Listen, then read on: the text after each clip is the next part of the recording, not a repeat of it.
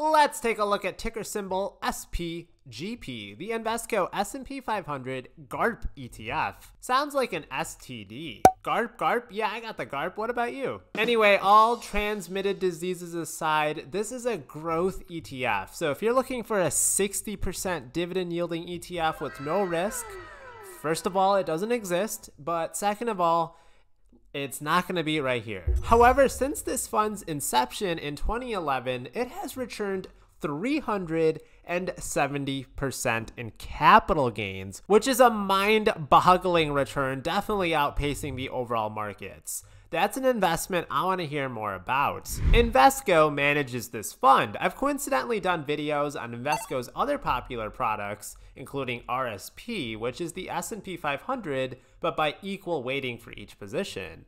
I'm sure you've heard of the triple Qs, which track the NASDAQ 100, the best innovative companies out there. Triple QM, the same exact ETF with a lower expense ratio, but less trading volume. GARP is a little bit different though they're going to be tracking and yes the index is really called this the s&p 500 growth at a reasonable price index aka garp see it was just an acronym. No need to get yourself tested. So according to the s&p 500 website the aim here is to assemble a stock portfolio of companies with high quality and value composite scores so it's combining the aspects that you would look for in growth companies with the aspects that you would look for in value companies. So despite its name, the S&P 500 GARP index only has 75 companies. It has the name S&P 500 in it because S&P 75 was not in use. In order to be ineligible for the index, a company must be part of the S&P 500. Then from there, they're going to be taking a score based on other growth factors such as 3-year earnings per share growth, and then they're going to take a look at the value and quality of the company by looking at financial leverage ratios, return on equity, earnings to price ratio. It takes the top 75 ranking stocks on those criteria. No single stock can be more than 5%, and then no sector can be over 40% of the portfolio. The constituents get reselected every June and December, so semi-annual rebalancing. So not exactly actively managed, they just follow screeners similar to SCHD, Skiddy, to pick the best possible companies. Despite this, they still have an expense ratio of 34 basis points, which is actually higher than the triple Qs at 20 and SCHD, which has a super cheap expense ratio of just 6 basis points. I'm surprised the fee is so high for a non actively managed fund. Reasons for this could be its really high turnover ratio, so it's certainly still less expensive than the actively managed ones, especially those that are doing options trading. When we look at the sector allocation, we can see some nice diversification. Compared to the S&P 500, one thing that really sticks out right away is how high energy is in the allocation.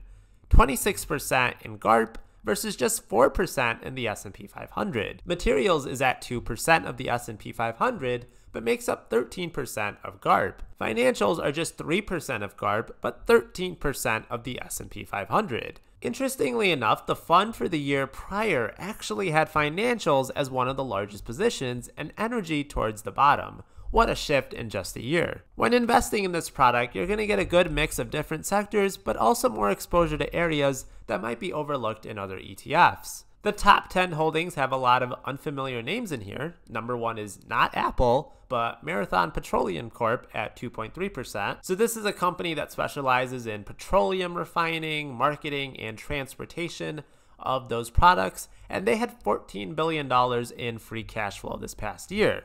The second biggest company is FANG, F A N G, the Diamondback energy company, which obviously invests in the Arizona Diamondbacks. And when they're not doing that and investing in the FANG stocks, but they actually explore for new deposits of hydrocarbon, they have nearly 2 million barrels of oil with petroleum, natural gas, natural liquids just ready to go. The third biggest company is CF Industrials Holding.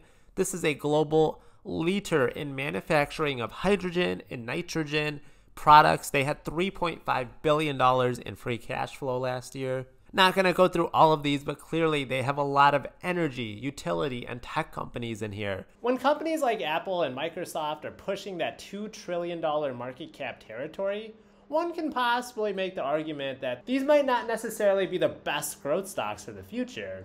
With SPGP, you're constantly getting your companies benchmarked and filtered for their growth potential and making sure they're also at a fair value.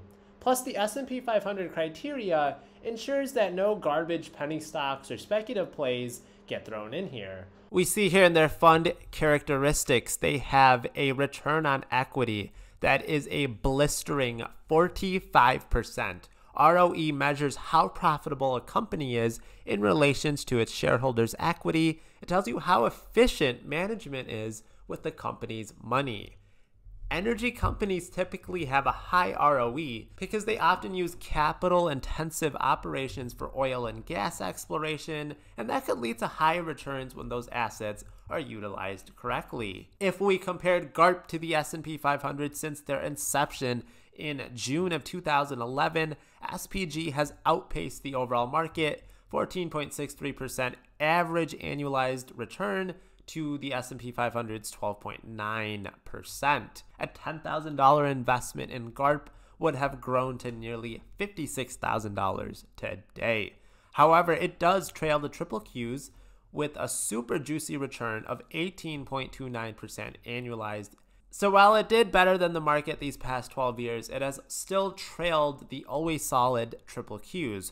However, just because the triple Qs did better in the past doesn't mean that they're going to do better in the future. The 2010s decade had some ridiculously low interest rates for the vast majority of it, and big tech companies just dominated. I'm doubting that dominance will continue this decade when they're already so large in size. I doubt we're going to see that in the 2020s decade. SPGP, of course, pays dividends, not the highest yield, just 1%, but we can see over the years it does generally go in an upward direction. Just remember, since the constituents of this fund are changing quite often, it's not always going to be the same dividend paying companies making up the fund, hence why the dividend is so volatile. The fund also has a five star rating on Morningstar. This fund is more for those who want growth, capital appreciation, and want it at a reasonable price. This is one of those investments where we can just set it and forget it, and in 20 years, the wealth will have grown. It's a way to mint some more money. Still not sure if this is better than the triple Qs, but as we saw, it's a totally different ballpark of stocks and sector allocations, so different type of diversification. I used a lot of Invesco products to be able to beat the market this year. Check out my Patreon to see my full portfolio. Check out the Patreon to see my full six figure portfolio where I share my weekly trades. Welcome to the newest Patreon, Robert, who now gets access to my full portfolio. Shout out to Sir Friendzone for the video idea. My videos are always found in podcast form under the Collect Cash podcast name. And make sure you're also leaving a five star rating if you're listening on podcast. And I'll catch you on the next one.